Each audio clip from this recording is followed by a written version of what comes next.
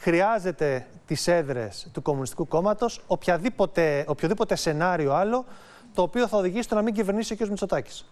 Κύριε Σρόιντερ, ε, αυτοί που ψήφισαν σήμερα το ΚΚΕ γνώριζαν, γνωρίζουν και θέλουν το ΚΚΕ να είναι απέναντι σε κάθε αντιλαϊκή κυβέρνηση.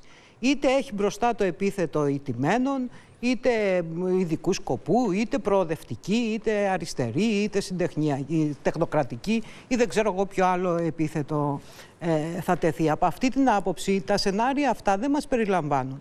Το σενάριο το θετικό για το λαό που μας περιλαμβάνει είναι ότι την επόμενη μέρα, όποιες και να είναι οι πολιτικές εξελίξεις, το ΚΚΕ θα καταθέσει τη δύναμη που του έδωσε ο λαός για να οργανωθεί μια τέτοια πραγματική συζήτηση μέσα στους εργαζόμενους που να τους επιτρέψει να πάρουν την υπόθεση στα χέρια τους απέναντι στα για να είμαστε ξεκάθαροι, κλείνεται οποιοδήποτε ενδεχόμενο. Να έρθει αύριο ο κύριος Τσίπρας και σας πει ελάτε να κάνουμε μια κυβέρνηση των τεσσάρων κομμάτων για να μην γίνει πρωθυπουργός ο Μητσοτάκης και να μην πάμε σε δεύτερες εκλογές.